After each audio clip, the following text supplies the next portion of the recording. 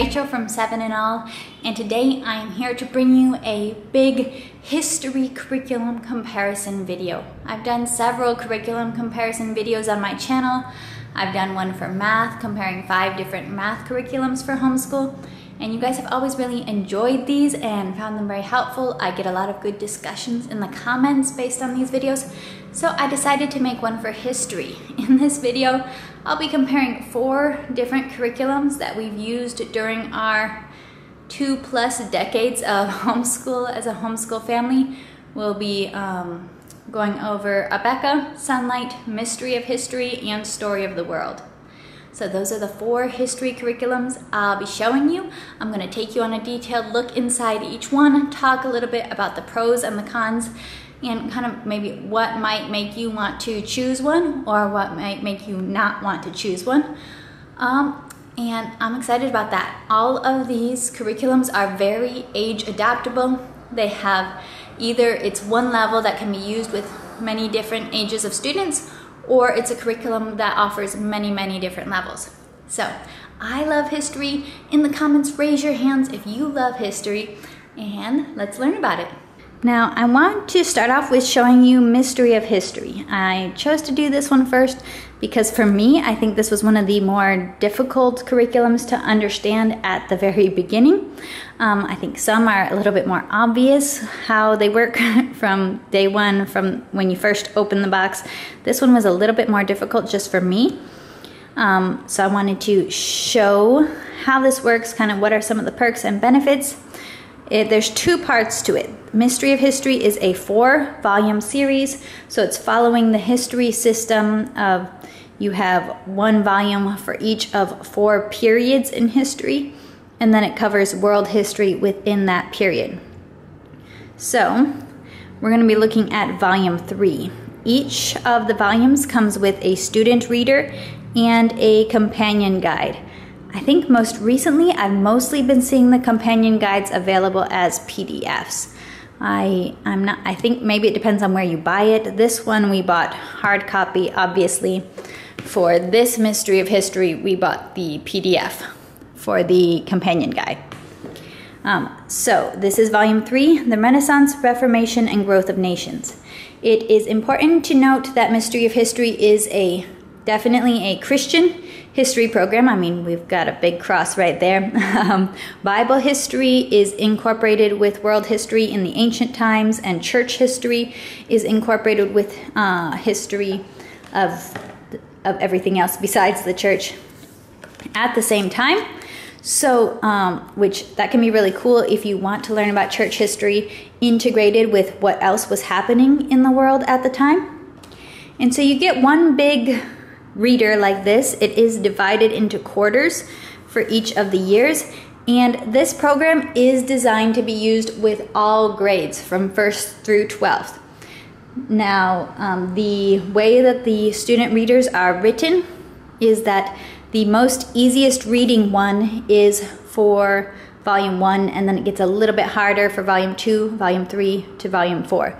So it does go up a little bit in maybe reading length, vocabulary difficulty from one level to another, but I would say that both volumes three and four would definitely be more comfortable reading level for upper elementary, middle, upper elementary and middle school for sure, and would would also be appropriate to high school. Um, but by the time you're getting to level three or four, you probably want to at least have some older students, or else you might be struggling a little bit. Um, so I wouldn't want to jump into these volume three and volume four if your oldest is maybe only in like third grade. I think that would be tough. So this is nicer if you have a range of students, but you do have some older ones. And then you'll have week one and lesson one. So it will be divided into lessons. I'll just show you. And we have always done this as a read aloud. So with mom, parent, sister, reading aloud from the book to the students and discussing as you go. Now, depending on the age of your kids, you might do one lesson in a day, you might do less than one lesson in a day. I'm just trying to quick give you a glimpse so that you would know what to expect from the student reader, what it looks like So this is level three. There is a good chunk of reading. There is art throughout. So we're getting a good picture at this this stage in history. There is a lot there you learn about all sides of the world pretty much. But that is not all. If this was all there was, it might be a little bit on the dry side. But here some of the best factors of this curriculum come when you take the time to read the companion guide, read how it's supposed to work. And so I do recommend if you get this, take the time to sit down and read for a while. It can be a little bit intimidating, but look at all the different pieces and kind of how they work together. So, um, beef, she kind of breaks it down into steps, and I'll kind of go through the steps a little bit. So, every lesson, or not every lesson, but each quarter it had that quarter summary that you can start out with. It's just an introduction to what you're learning about in this quarter. Then, how you really start each section is with the What Do You Know pre-tests. And I'll show you what this looks like right here. So, week one, quarter one, What Do You Know pre-test one. And I like this idea. It's kind of putting, um, building context for the kid, asking them what what have you heard about this um, period in history before, which maybe they haven't come across any information about it in their lives so far, so maybe they're not going to know anything, but maybe they do already know some things. So it's, it's starting to introduce just a little bit of names, build some curiosity, build a little bit of context for where we're going in this quarter. I like the pre-tests. Um, then, and that's not for grading or anything, it's just for kind of setting the stage. Then you read through the lessons. Um, as far as, so that might be one lesson in a day. Probably, I think it's designed for one lesson in a day, and if you have older kids, that's gonna work great. Then the next thing that you do is activities. And if it's a handicraft activity, you might actually have your child work on it while you're reading the lesson but she has suggested activities for every lesson, and there's a lot of them. It would actually be really overwhelming to try to attempt activities all the time. She um, says, do not plan to do all the activities. You have no, it is not at all necessary to do all the activities, but we can definitely say it is fun for sure when you make time for at least some of the activities and they are divided into three age groups. And this is how this becomes age adaptable because for younger kids, roughly first through third grade, there will be some activities.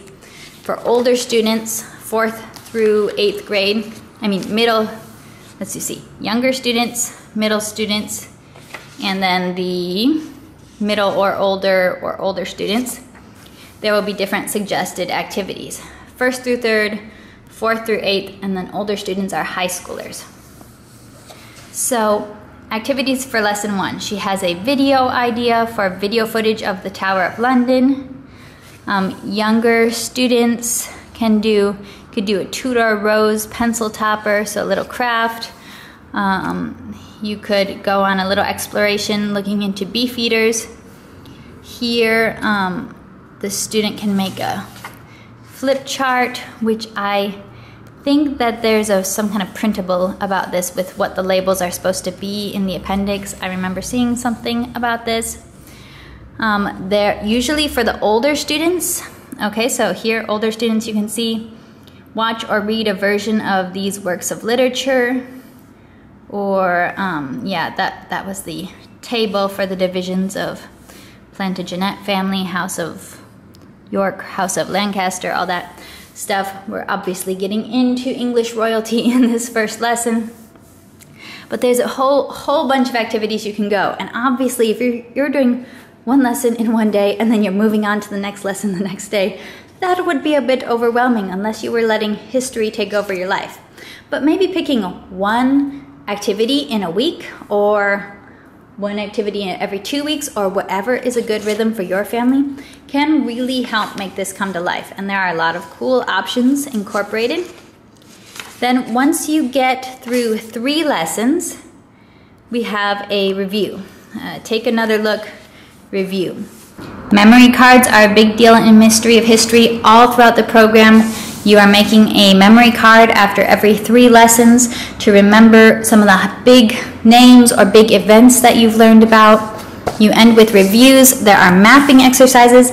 This has a whole lot of stuff in it. So, for somebody who wants to read a lot about history and enjoy it, this can be great. I believe, if I'm remembering right, I believe there are also like living book recommendations for that go along with specific lessons or time periods, if I'm remembering right.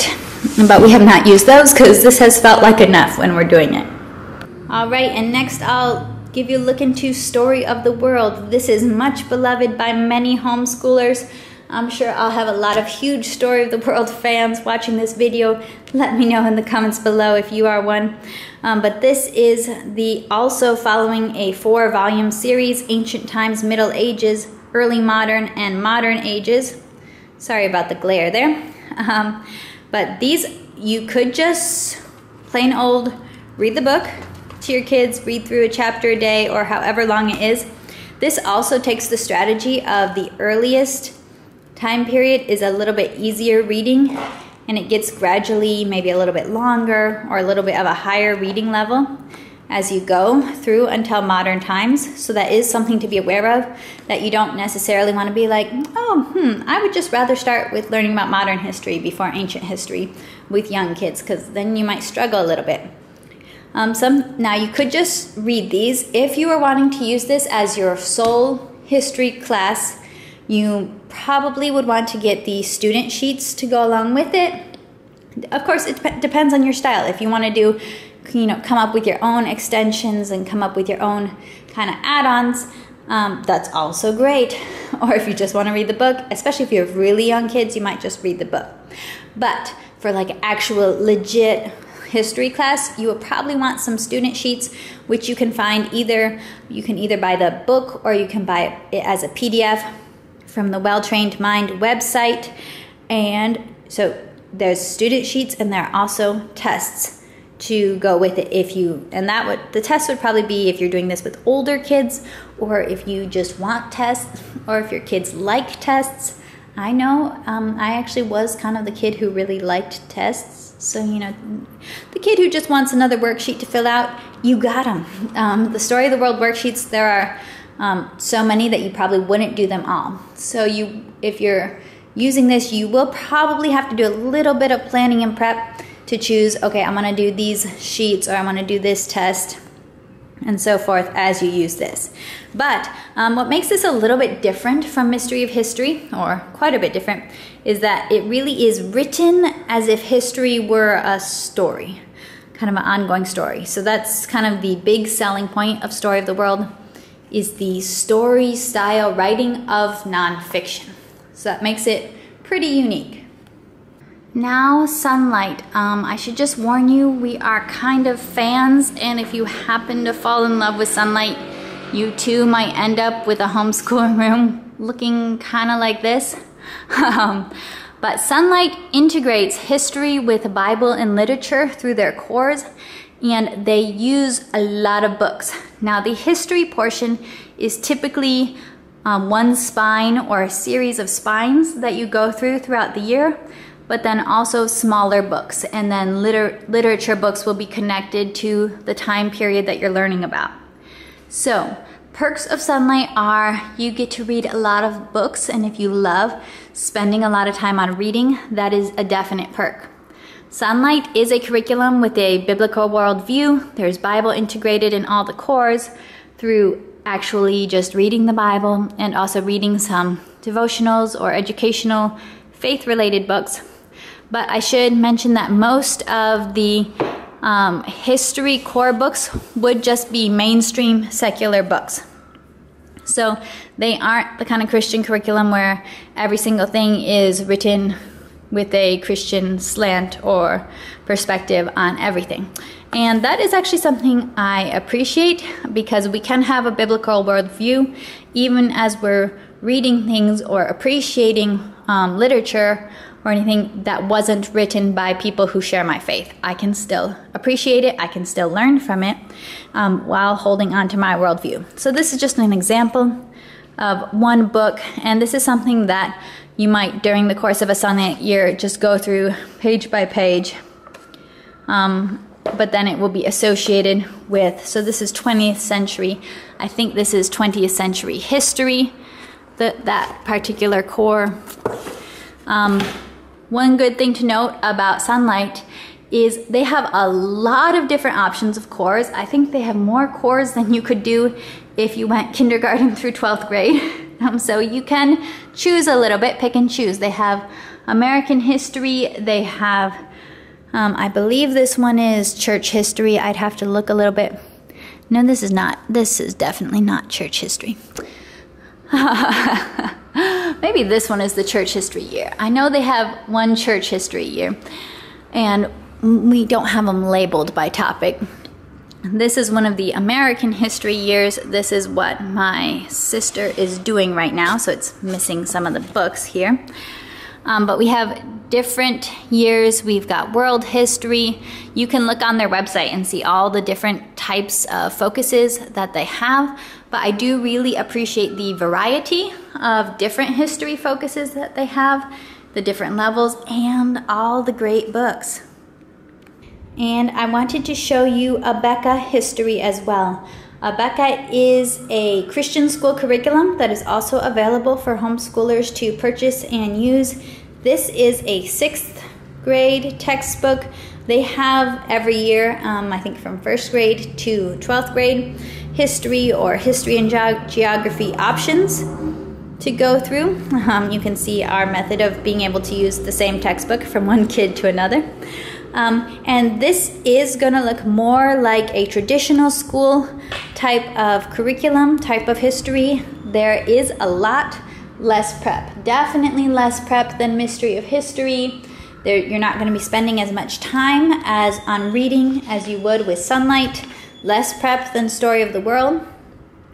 Now, um, from the homeschooler's perspective, I would say it is harder to get excited about. And I, I, I think that's a, you know, there's a lot of homeschoolers who have used Abeka all the way through very successfully. I'm trying to find the beginning of a chapter. um, who have used Abeka very successfully and who have liked it. There are also people who run at the side of a textbook. So, you know, in homeschool, we have every side of the spectrum. A couple, so it is a very traditional textbook. It comes with like quizzes and map worksheets and a test book, and you can also get teacher's guides with the answers to every question that's in the text. Here for the little comprehension checks, every question that's in the tests and the quizzes. So that makes life um, easy for you as a teacher. And to me, that that's a good thing to point out. That some years you kind of need easy. Maybe something's crazy going on in your life right now we actually primarily used Abeka when my family was transitioning from living in the USA to living in Southeast Asia. And my mom was transitioning from being stay at home to working, a working mom.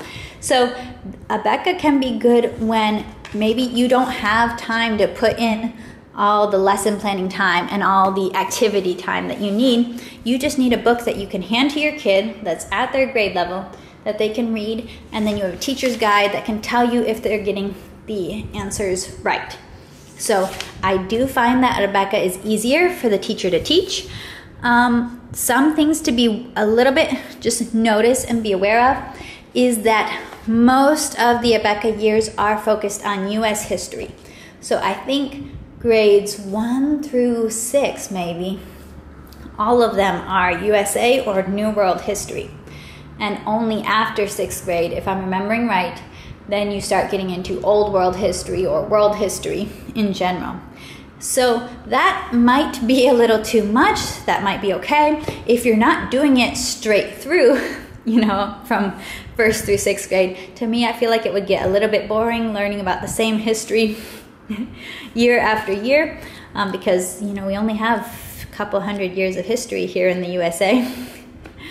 um, so that, that is just something to consider that this is more US focused. Um, this is uh, all the textbooks are written for Christian schools, so they'll incorporate Bible verses, they'll incorporate a Christian um, perspective on everything. We have chapter reviews and checkups. The Chapter reviews are very much the same content that you'll see on the test. So um, review it helps your child review for the test and be very prepared to do well. So this is a very classic option, and I think it's it's solid for when you need something easier. When mom does not need to spend time on prepping history or on reading books for hours, because once you get probably first, second, third grade, I would still be reading the textbook to the child. But once you get into fourth grade, this is really something you could just hand to your kid and they can read it, they can take, they can answer the questions, and you just check it for comprehension and talk with them about it. Now, there is no right or wrong answer when it comes to history curriculum. Everyone's gonna have their own passions, their own interests, and their own seasons with what history they're gonna use in their family right now. Um, our family doesn't live in the US, so sometimes, you know, we don't necessarily want to study US history again. We might want to study the history of the location where we live. Or we, we want to study the history of just one particular subject that a particular kid is interested in.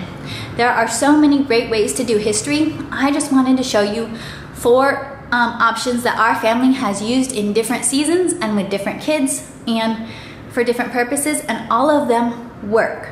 You don't have to stress out about finding the perfect curriculum that you can stick with all the way through. Because realistically, you're probably not going to do that. um, but I hope that this is a helpful resource for you if you're looking for a history curriculum. And if you're not looking for a history curriculum, then you're probably just, you know, having fun watching YouTube and having imaginary homeschool curriculum chats with me. And that's okay too. All right, see you later. Bye.